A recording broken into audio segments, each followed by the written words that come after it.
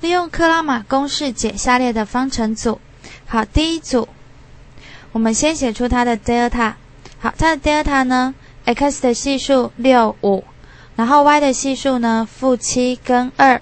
好，所以我们计算一下，十二减掉负三十五，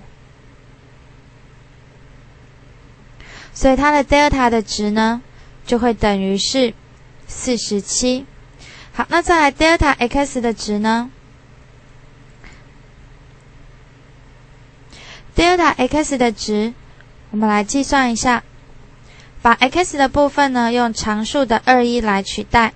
好，那 y 的地方呢负七二照写。好，所以乘开四减掉负七，所以等于十一。好，那再来 delta y。好，所以呢 x 照写。Y 的地方呢，用常数来取代，所以六减掉十会等于负四，所以我们就可以知道 x 的值呢就等于四十七分之十一，而 y 的值呢就等于四十七分之负四。好，再来第二小题，我们一样先来算 delta，delta 的值呢是一二一二。好，所以我们可以看到它成比例，所以 delta 呢是等于零。好，那再来 delta x 呢？x 的地方用常数项来取代，然后 y 呢照写。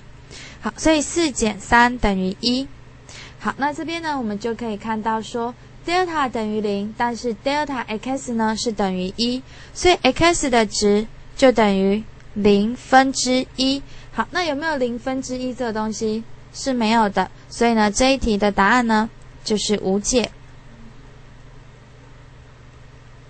在第三小题，delta 的部分呢，x 的 y 的系数二四负一负二，好，所以负四减掉呢负一乘上四，所以这再减负四，好，负四加四等于零。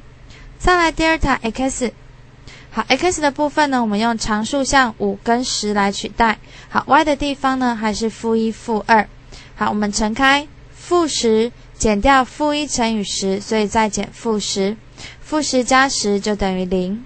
好，那 delta y 呢？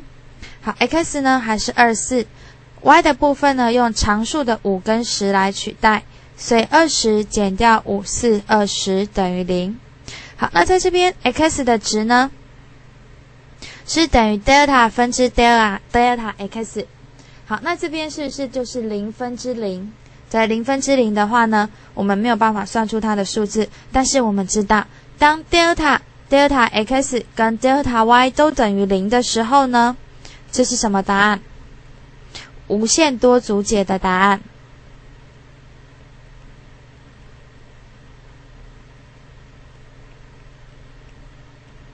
好，这样子的话，这三个方程组我们就把它解完喽。